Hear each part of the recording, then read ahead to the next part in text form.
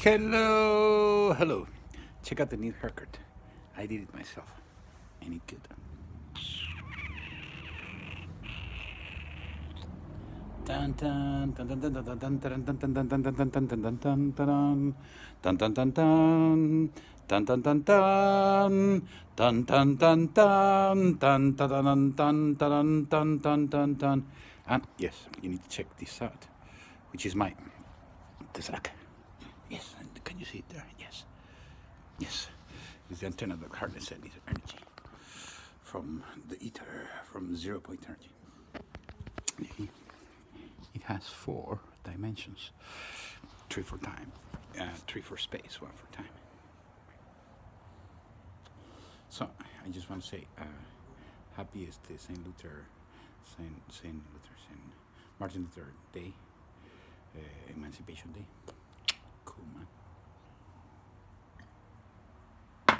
And uh, that's it. That's it. And this is Maxima, World at Evolution Broadcasting.